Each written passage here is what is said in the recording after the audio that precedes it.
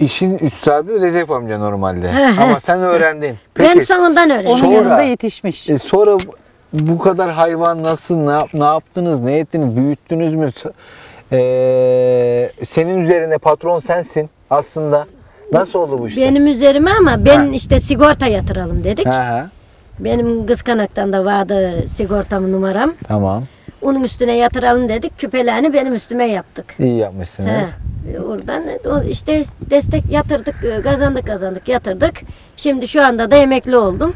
Hayırlı olsun senin için de. işte Emeğinin karşılığını Deden de görmüş. emekli. Aa, Biz de emekliyiz, maşallah, işte Allah bize de oldu. göstersin. Çalıştık. Bak yemin ediyorum Allah bize Amin, de göstersin. amin. Ama ederim. hepsini kendin çalışarak. Hepsini çok, kendim çalışarak Hiçbir destek aldın mı bu işte? Hayır hiçbir destek almadım. Ne dinleden, ne dededen, ne konudan, ne komşudan kuruş istemedim. Allah'a bin kere şükür. Devletten herhangi bir destek aldın mı? Devletten de işte küpe parası verse veriyor. Başka ne vereceğim? Evet, Küpenin de işisi kaç para?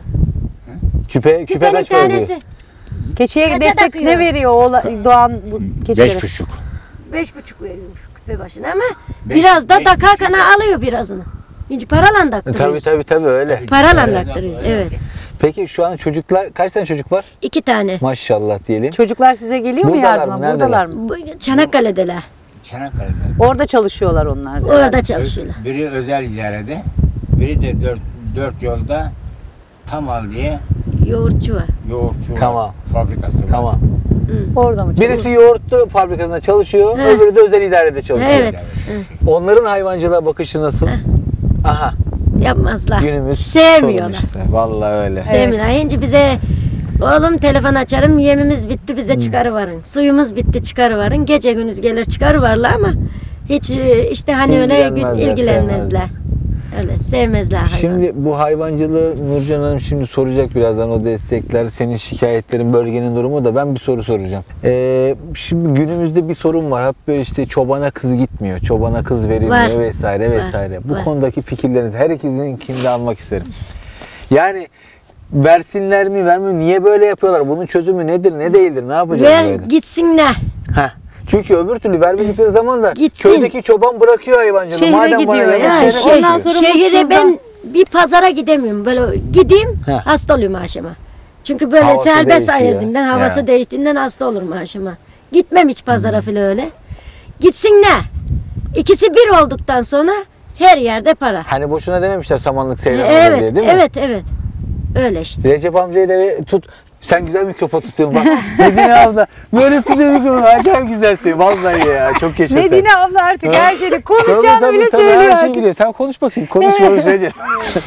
Recep amca sen ne diyorsun bu konuya ya? Ya bu çobanlara kız vermemeler, çobana kız verilir mi şeye. Sonra işte e, gençler hep böyle bu sefer e, başka yerlere gitmeye başlıyor. Hayvancılık bitiyor. Zaten sıkıntımız var. Ver, verilmesini isterim. hı. Yani gitmelerini isti- istiyorum ama Kişilere göre şimdiki mi? gençler hepsi hiçbiri yanmıyor. Çünkü benim kendi evlatlarım, oğlanlar bunlar bile istemediler. Ben gelin oğlum iki tane motor var, traktör. Birer birer vereceğim. Keçileri de size vereceğim. Orada İşte- kazandıklarından daha rahat bir hayat sunuyorsun aslında. Evet Mal ben de olarak size da yardımcı olacağım dedim. 500 tane burma yapın dedim. Bak. Biriniz bakın 500 tane sağmal keçi yapın. Sağmallar bir, yer- bir taraftan gelir getirecek. Evet. Burmalar bir tarafta her sene 100 tane burma satarsın kurbanlar. Evet. Her sene Çanakkale'den, daireden birer daire almış olursunuz size. Evet. Ama gene gelmiyorlar. Gelmiyorlar değil mi? Hem Gelmiyorlar. köy yaşamını sevmiyor yeni gençler hem o Zor geliyor. Hani Şimdiki diyorlar ya, gençler kokuyor öyle yapıyor. Geliyor evet Kokuyor keçinin diyor. keçi anlamında. Evet. Şimdiki gençler yanmıyor. Vallahi doğru söylüyorsun Recep amca. Üzücü şeyler bunlar. Nereye kadar böyle gidecek? Tabii ki Nereye şey doldular yani her yere doldular. evet. Kat kat kat kat oturuyorlar. Yani altın kim oturuyor, üstünde kim oturuyor bilmiyorum. Bilmiyorsun. Komşuluk da yok, şey de Yok. yok ama böyle köy Benim eve kim yerlerinde, geldi, yaylalarda gitti yine mi? komşular birbirine İtibar çok daha yakın benim eve sanırım. komşu- Ben Komşular vermedin dedi Recep amca. Benim eve vardım ince. Filanca geldi kız senin eve diyorlar. He. Biliyorlar ama orada bilmiyorlar. Kimse kimseyi tanımıyor Kimse değil mi? kimseyi tanımıyor. İnsanlık ölüyor. Evet, Komşuluk, komşuluk ölüyor. ölüyor. Komşuluk ölüyor.